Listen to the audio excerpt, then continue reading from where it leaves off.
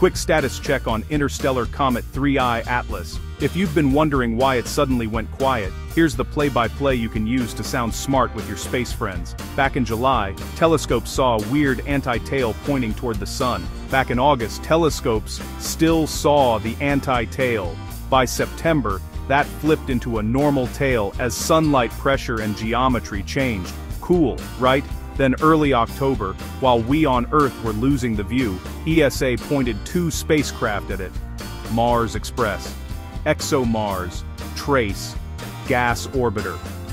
Between October 1st and 7, as 3I Atlas passed near Mars, those orbiters snagged precious data from about 30 million kilometers away. On October 21st, it hit solar conjunction, directly behind the sun from Earth.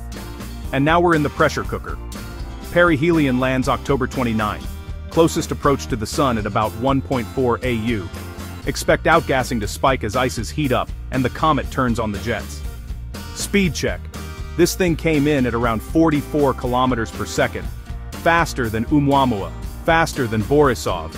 It's our third confirmed interstellar visitor, and yes, there are eight oddities on the books. Don't jump to wild conclusions, natural still fits, but the anomalies keep scientists paying attention. What's next?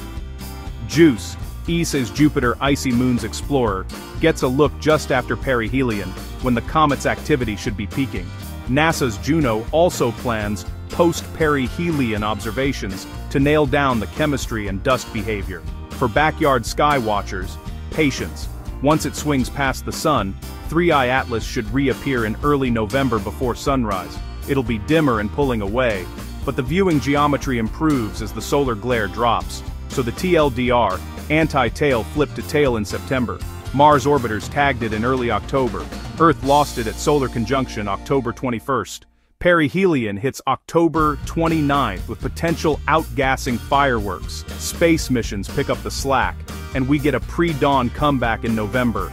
Follow for the next checkpoint, and I'll keep the timeline tight. Interstellar road trip continues.